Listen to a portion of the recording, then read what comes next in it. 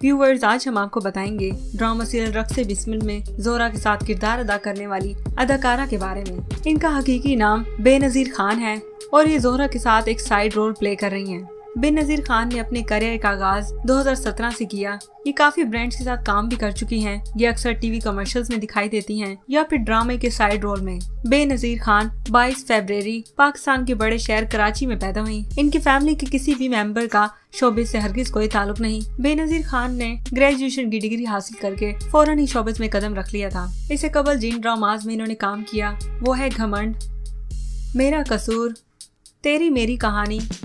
कम दिल, लम्हे और अमृत और माया। बेनजीर की जाती ज़िंदगी की बात करें तो इन्होंने अभी तक शादी नहीं की। इनका कहना है कि इनका अभी अपने करियर पे फोकस है तो अभी मेरा कोई इरादा नहीं। बेनजीर की दो बहनें हैं, जिनका नाम मानूर और अरूज खान है, और इन दोनों बहनों का शोबे से हरगिज कोई ताल्लुक नहीं। Viewers, drama serial Raqs Bismil में आपको बेनजीर खान का किरदार कैसा लगा? अपनी कीमती राय का ज़रूर इजहार कीजिएगा। मजीद ऐसी वीडियोस देखने के लिए हमारे चैनल को सब्सक्राइब करें एंड बेल आइकन पे क्लिक करके नोटिफिकेशन हासिल करें।